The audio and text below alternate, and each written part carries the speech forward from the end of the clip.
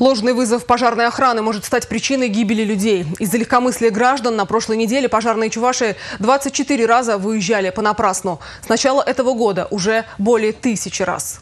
Пожарные выезжают на каждый вызов. О том, что звонок оказался ложным, огнеборцы узнают только на месте. Такие шалости ставят под угрозу жизнь других людей, которые в этот момент могут действительно нуждаться в помощи. Чаще всего шутниками оказываются дети. Главное управление МЧС России по Чувашской Республике обращается к родителям просьбой рассказать своим детям о недопустимости подобных развлечений. Как показывает практика, они дорого обходятся каждой из сторон. Взрослым тоже стоит воздерживаться от желания столь неудачно пошутить. Ведь в отношении совершеннолетних граждан могут приниматься более суровые меры административной и даже уголовной ответственности. Помните, современные технические средства помогают без труда вычислить телефонных хулиганов.